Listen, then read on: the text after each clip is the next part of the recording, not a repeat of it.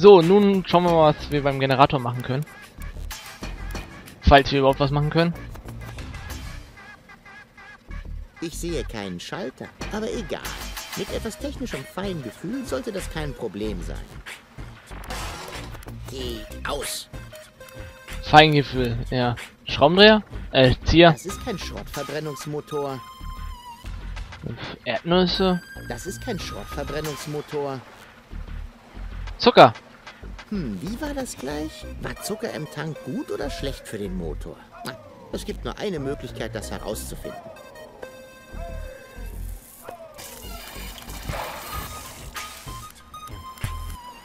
Düm, düm. Ah ja. Es war schlecht. Dachte ich mir's doch. Also irgendwas muss ich machen, sonst hätte ich die Zuckerdose nicht mehr.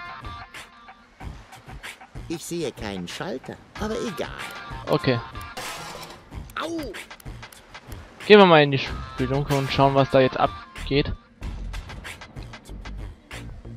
Das muss ja irgendwas bewirkt haben.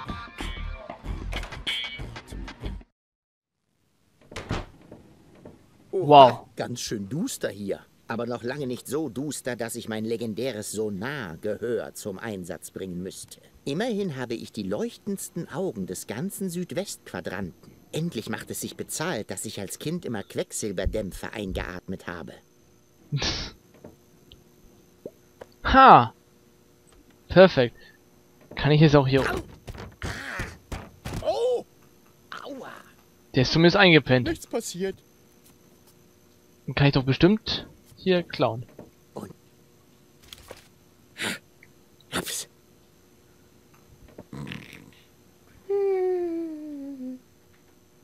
Der ist richtig drauf.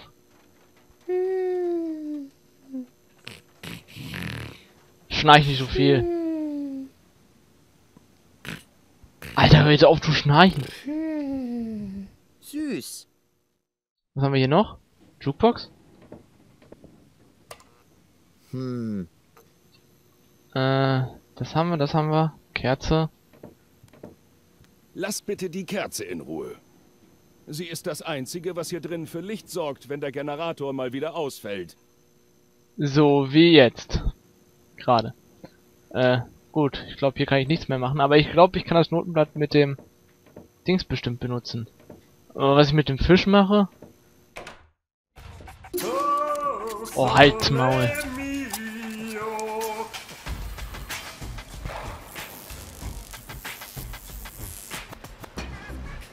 Ey, er läuft wieder. Aber Rasiermesser? Also es muss irgendwas mit dem mit der Katze zu tun haben anscheinend. Ah gut, treten wir mal dagegen. ancora? Oh, stupido, stupido, razzo idiota! Ach ja, Und dann tauschen wir mal das Notenblatt. der tote Taubentango. Mal sehen, ob das was bewirkt. Ach, hier könnte ich auch noch was vielleicht machen.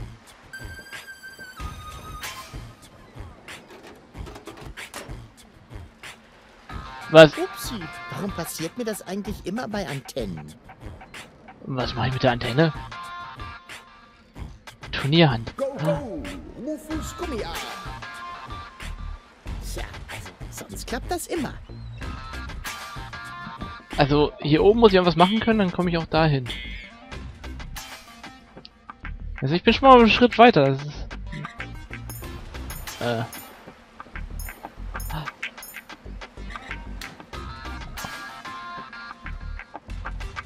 Hey du! Was schleichst du hier rum? Meinst du etwa mich? Natürlich meine ich dich. Oder hast du noch einen unsichtbaren Kumpel dabei? Ha! Wenn ich einen Kumpel dabei hätte, wäre der bestimmt nicht halb so unsichtbar wie ich. Denn ich bewege mich unauffällig wie ein Ninja. Ich wusste, dass er die Bewegung gemacht hat. Von wegen. Bei deinem Getrampel würde ich dich selbst dann noch bemerken, wenn du durch den goldenen Drachen der Unsichtbarkeit aus Gilligans Gadget Shop getarnt wärst. Ha, was ein echter Ninja ist, der braucht doch keine Gadgets. Ich kann mich jederzeit mittels meiner geheimen Stealth-Kräfte in Luft auflösen. Dann tu das bitte. Ich will dich hier nicht mehr sehen. Verstanden? Moment, bringt mir das dann was? Hä?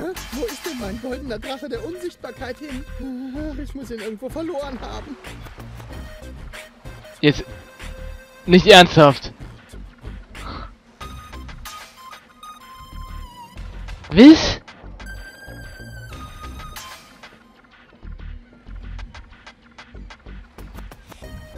Wie soll ich de denen jetzt... Ich gehe erstmal zum Waffenladen. Und dann probiert es Boso nochmal. Oh je, Rufus. Glaubst du etwa immer noch, dass das eine gute Idee ist? Natürlich. Du willst doch nicht etwa schon aufgeben, oder? Um genau zu sein, Komm schon, einmal noch. Das muss helfen jetzt. Ansonsten fehlt immer noch was. Der Hausierer. Wann lernt ihr es endlich? Wer seine Beine vollzählig macht, sollte niemals... Du schon wieder? Los, komm rein. Komm schon!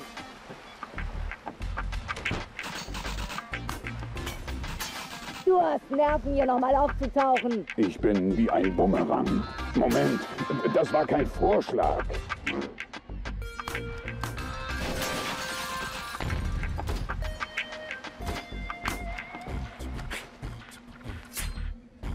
Komm schon, Bambina. Können wir das nicht überspringen? Ich muss nur meinen Satz sagen und schon. Du fragst mich voll Empörung, woher kommt der Gestank? Ich hab eine Erklärung. Drei tote Tauben liegen hinterm Schrank. Oh, sole mio. La la la la, la la. Oh, nicht schon wieder. Wie soll man sich bei dem Gejaule denn konzentrieren? Also, ich finde es romantisch. Raus, sofort! Ach so, das hat das Umstellen gebracht. Vielleicht bringt das beim anderen was. Äh.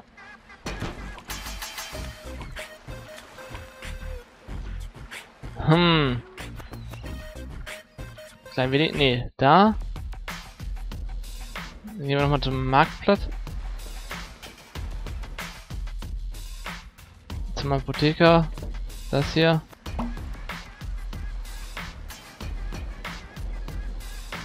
Ach, dann kann ich Mo. Was soll das bringen? Ne, das ist mir noch nicht. Also ich kann alle möglichen miteinander verbinden. Ist nur die Frage, wie es richtig sein müsste, damit ich vorankomme.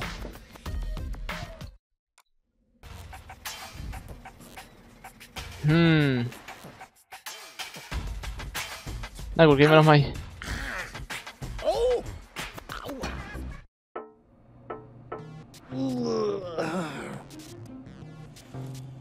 Ich muss über irgendwas gestolpert sein. Hey! Das war ja der goldene Drache der Unsichtbarkeit. Hier habe ich ihn also verloren.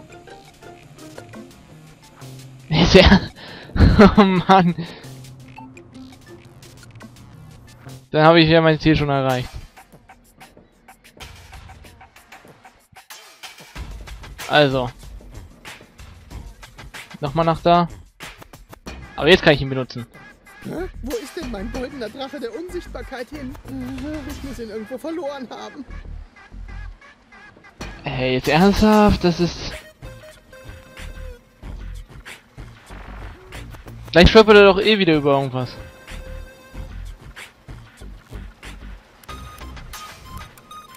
Der kann ja nur auf der Strecke liegen.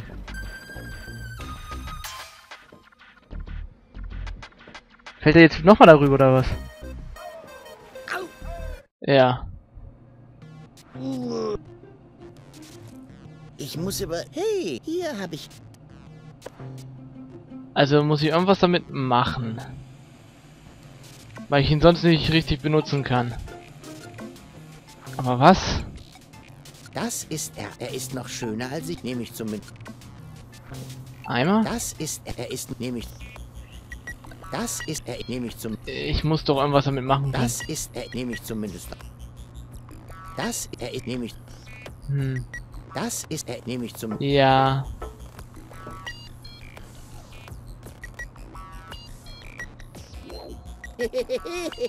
es funktioniert. Ich bin unsichtbar.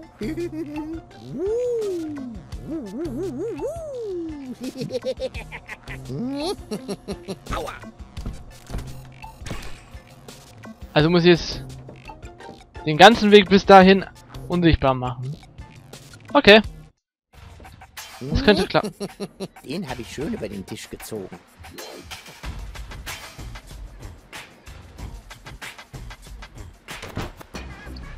Soll ich den jetzt wieder benutzen? Wo ist denn mein... Hä? Also, das, das, das ergibt für mich überhaupt keinen Sinn. Ich muss über... Hey, hier hab...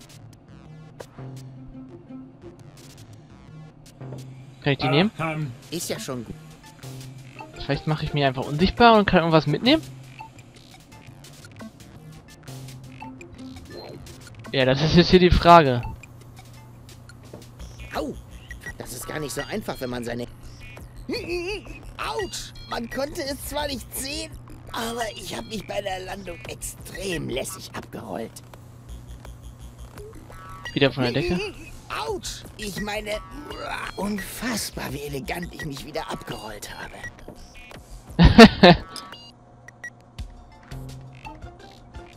ah. Das könnte mir helfen.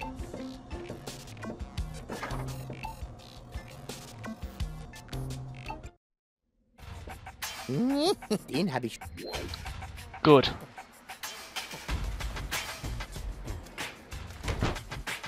Schauen wir mal, ob das mit linker Fassung... Bestimmt kann ich so auch auseinander und wieder Dings, aber... Ich habe eine Idee. Das mit dem Periskop benutzen.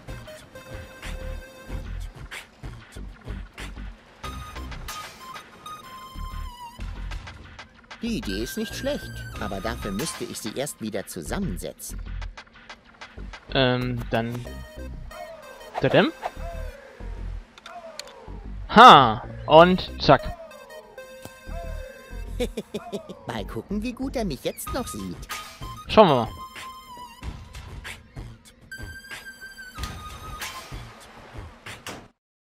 Ist das bescheuert.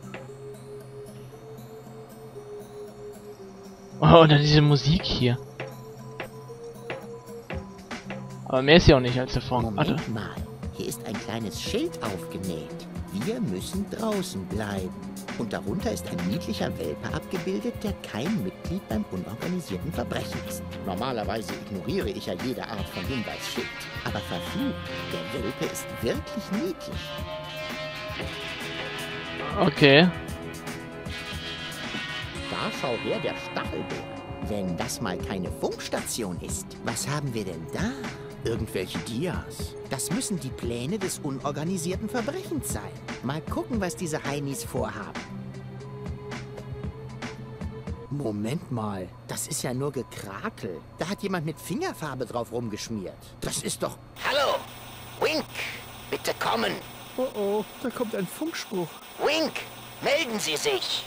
Moment mal. Die Stimme kenne ich. Das ist doch... Cowboy Dodo aus dem Kommunalfunk. Wink, so antworten Sie doch.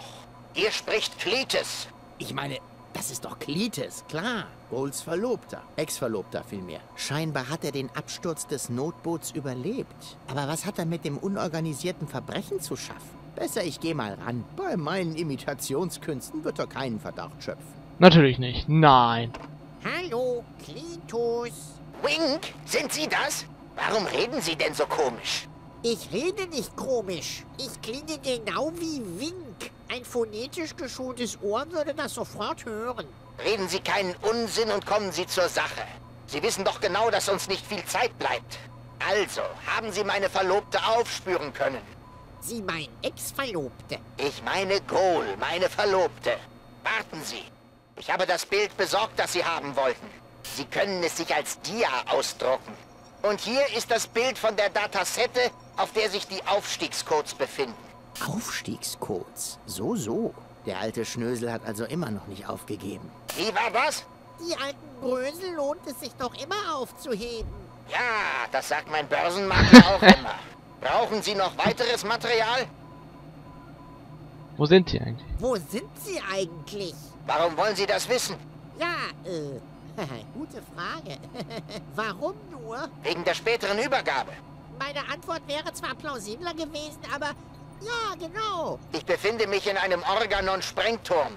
Direkt an der Kreuzertrasse nach Porta Fisco. Die Koordinaten finden Sie auf dem folgenden Dia.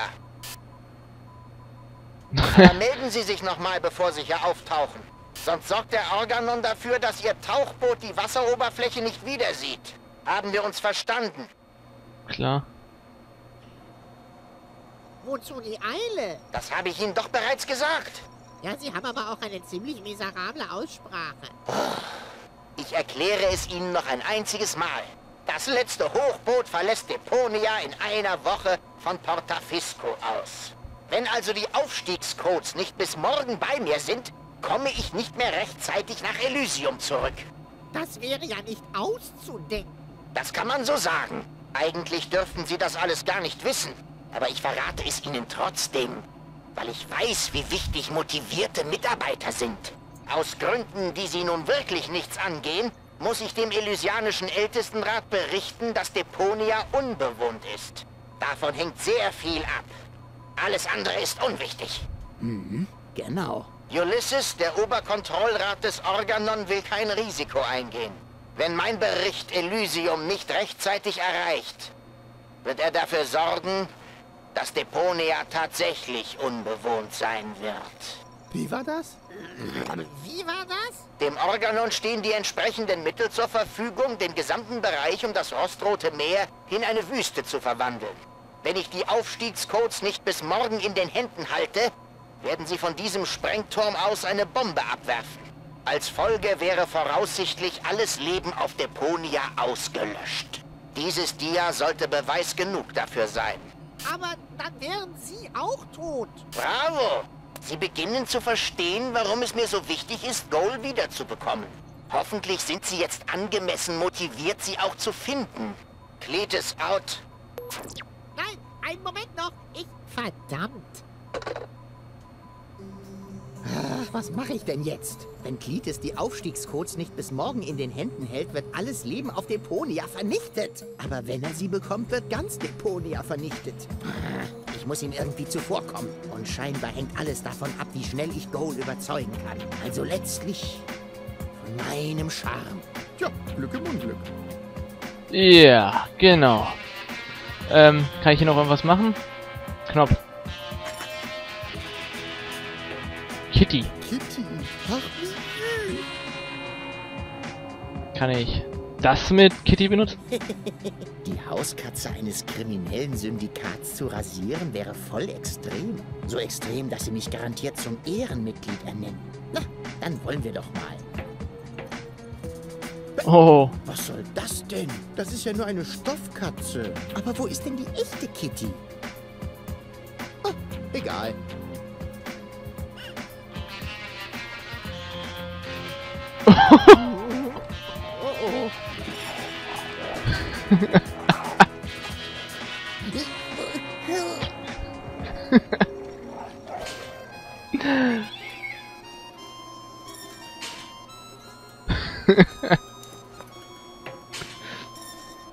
Was hast du getan? Das wird dem Boss aber nicht gefallen. Abwarten. Boss! Boss! Und jetzt kommt der Boss. Sitzt meine Frisur? Na, was für eine Frage. Natürlich sitzt sie. Was soll das? Wo ist der Boss? Hinter dieser Verrückten da? Ich habe einen Eindringling erwischt. Arme Kitty, brave Kitty, Kitty, Kitty, Kitty. Dieser kleine Nichtsnutz hat Kitty rasiert. Wie sollen wir mit ihm verfahren? Das war auch mein Gedanke. What?